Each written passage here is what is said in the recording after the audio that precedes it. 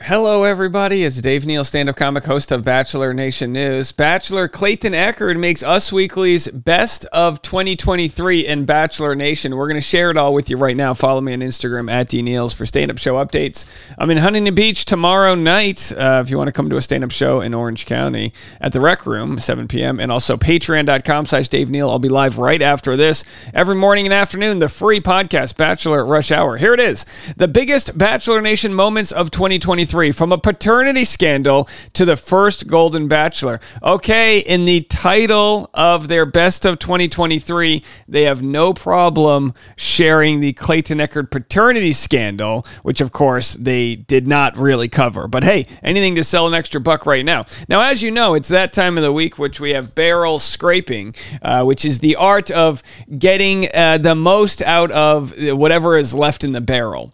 And if, as you guys know, we've been scraping the barrel uh, since Jebediah the barrel scraper uh, uh, started scraping barrels in 1823. So this is actually a fact, no lie here. He actually had a crown. He was the king of barrel scraping, a power barrel scraper, and we're going to continue to do that all week long. All right, and by the way, uh, you know there'll, there'll there'll be more breaking news, so definitely stick around. But here, let's go right through it. Bachelor Nation might be might have had its most dramatic year yet in 2023. I kind of agree. It was a pretty dramatic year. The year kicked off with Zach Shallcross's Bachelor stint. The season was full of drama, thanks in part to his finale confrontation with Gabby over their fantasy suite date. It's honestly worse watching it back, Gabby said during the live finale, reliving their breakup and calling it violating that Zach had revealed to the entire nation that they had sex. Yeah, what that wasn't good. It wasn't good what happened there. And then, of course, Zach and Katie weren't the only Bachelor Nation success stories of the year. Charity became the Bachelorette in June, and when her season came to an end in August, she was engaged to Dotun. Olubeko.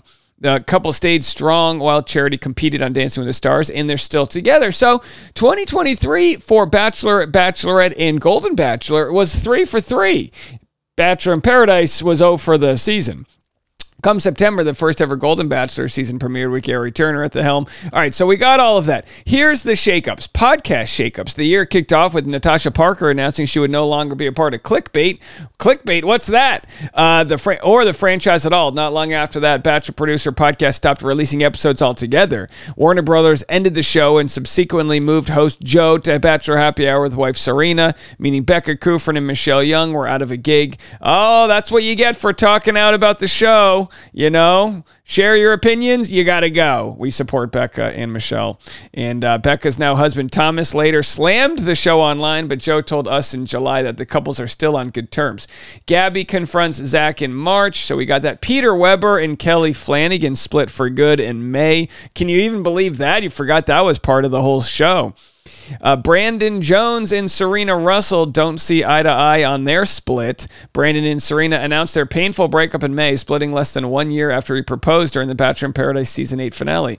We're deeply hurting and can only ask that there be no hate, the exes wrote in a joint statement. The best path for us at this time is to try and move forward and heal from this as individuals.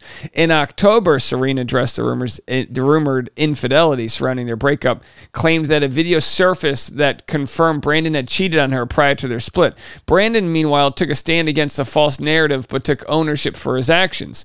Uh, the other big breakup, Jason Tartick and Kaitlyn Bristowe called off their engagement in August. Again, just a wild story. Little do we know it was just the tip of the iceberg for drama in 2023. And perhaps the most jaw dropping Bachelor Nation breakup of the year uh, yeah, I mean, I would say it's the most jaw dropping in the sense that they were the biggest bachelor couple, but also the writing was on the wall. We knew it was happening for what seemed to be months because you know they were they were kind of testing the waters as uh, separated. Maybe didn't want to announce it right away. I think people assume if people break up, something bad happened, and I think that's the hardest part of this whole breakup. Nothing bad happened. Kaitlyn shared during Off the Vine. We have both not made each other a priority, and this is what happens. The pair have no bad blood, and they reunited for the first time at Chris Harrison and Lauren Zima's wedding. All right, then we have Dotun and Charity got engaged. Not much to say there. Um, you know, happy for them, but um, no news is good news. And same thing for Gabby Windey finding love with Robbie Hoffman. She comes out of the closet, and uh, they are now dating and seem to be very happy relationship there.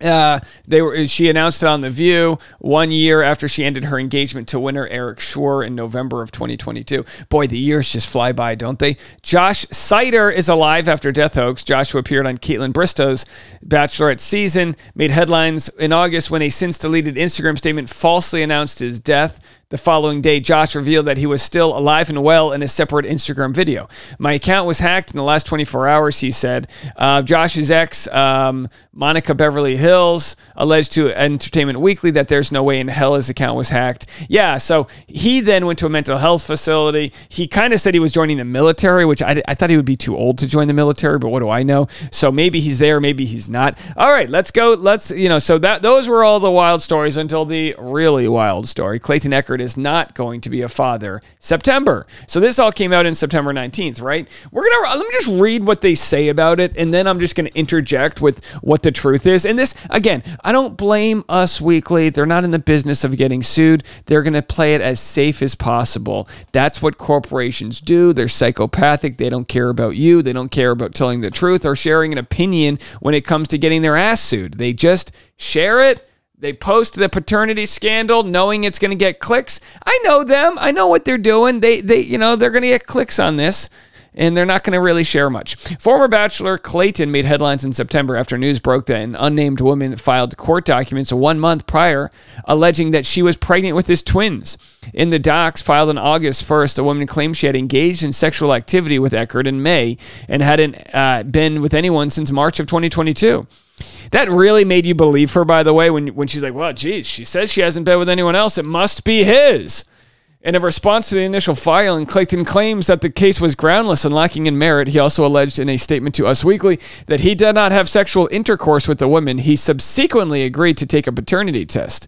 Uh, again, uh, what they leave out there is that Clayton actually was shown in emails to have said he only had oral sex. So he hasn't changed his sort of statement towards it all. Uh, but with that, of course, they leave out the fact that she got a uh, temporary restraining a restraining order against him. He got an order of protection, uh, an, an injunction against harassment against her. They're not allowed to talk. He's filed papers to prove non paternity, and she has said publicly that she doesn't want to talk about it anymore. Meanwhile, privately sending cease and desist to uh, different places and try, trying to get TikToks removed. And I'm in. Of course, she sued me. I didn't make the article. Uh, come on, put me in the article. Shouldn't guys? Shouldn't we be? Hold on, I need to get my American mute. I need to get my. Hold on, folks. This is a big deal here. Shouldn't we be in the article for best of 2023 in Bachelor Nation? We put our foot on the line for you. We're getting sued for harassment. We have a hit podcast called Bachelor Rush Hour. Okay, in an October Instagram video, Clayton announced to Bachelor Nation that he is not the father of the twins. I got the good news today. The test results came back early and they said little to no fetal DNA present. Let's go, baby. By the way, somebody should turn this into like an auto tune rap song. I can't believe this hasn't happened yet.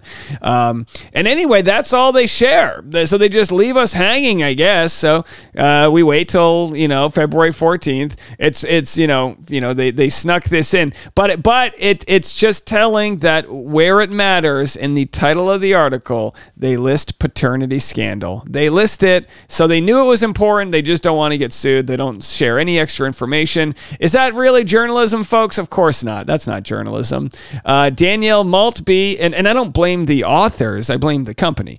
Danielle, uh, Sarah, quit. You're better than that. Quit the show and go out on your own. Danielle Maltby and Michael A's breakup turns messy. Oh, it sure did. After weeks of speculation, Michael confirmed his and Danielle's unplanned breakup during an episode of Jason's Trading Secret podcast in September.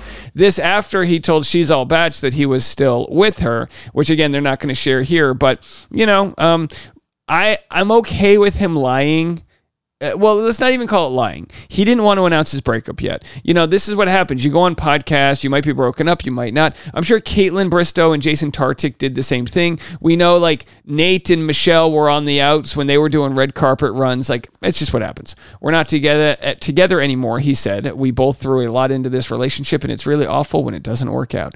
Danielle spoke out about the split days later, revealing it was not a mutual decision in an Instagram story. Danielle further discussed the breakup on the Women WOMED podcast, revealing that she was blindsided when Michael broke up with her the day after they froze her eggs. My, that, that just adds real insult to injury. I froze my eggs. I scraped cervix for you. Is that what happens? I don't know. People get very upset when I misdiagnose uh, uh, or medical, you know, whatever it's called. here. Either way, I think I, I hear from those that have told me, I haven't had my own eggs frozen. I hear it's very painful, and that would not be something that would be good to hear during your recovery of being your eggs frozen that you're being broken up with, especially after moving to Ohio. No offense to Ohio, but it's not like she moved to Hawaii for somebody. Oh, I moved to the beautiful coast of. no, no, no. Ohio? Come on. What's next? You're going to go to Pittsburgh for love? No offense. We love you in Ohio and Pittsburgh. you know, cue the people. You know, actually, Dayton's a very nice. Okay, can it, Ohio? Nobody cares. Michael, for his part, subscribe. Michael, for his part, claimed they had a previously uh, claimed that he had previously expressed that he did not want to have more kids. Michael shares seven-year-old son James with his late wife Laura. Gary says, "I love you three times." This happened in November. Gary pulled the old Clayton didn't understand you can't say it. The first ever senior bachelor may have been older, but he wasn't much wiser. Okay, so we got that story.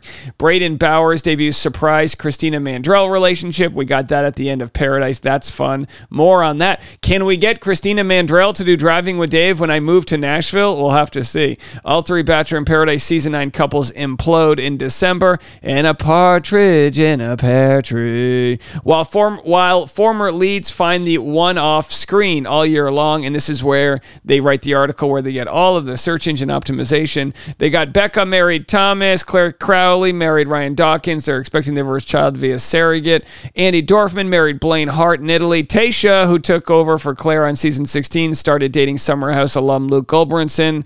Uh, Hannah Brown's engaged to longtime love Adam Woolard. Season 21 Bachelor Nick Viall is going to be a dad in the new We Where. They, they, they spelled year wrong. Get an editor. Uh, times are tough. Everyone's on break with fiance Natalie Joy giving birth to their daughter. While season 16, Bachelor Ben Flajnik got married in November. Colton Underwood no longer tracking uh, his ex Cassie Randolph. Uh, Colton Underwood and former host Chris Harrison rounded out the year of Bachelor Nation weddings when they exchanged vows with Jordan C. Brown and Lauren Zima, respectfully, respectively. There it is, folks. We got through it. Clayton Echard makes Us Weekly's best of list. It's garbage, but hey, that's what it is. They know what they are. They're garbage. It's the, the, you know, Us Weekly is the type of magazine you read when your flight's delayed and you're in one of those Hudson newsstand places at the airport. I don't think they sell one copy. You look at it as you go through the line and checkout and try not to buy any Reese's Pieces. That's all they are. We share their articles online, uh, but um, it is it, it Us Weekly is just a product of a time past in the 90s and 2000s when, you know, you'd buy like in style. See which star wore it best. No thanks, folks. We got Dave Neal now. All right, we'll be back with more Bachelor Rush Hour this afternoon, and I'll be live on Patreon right after this.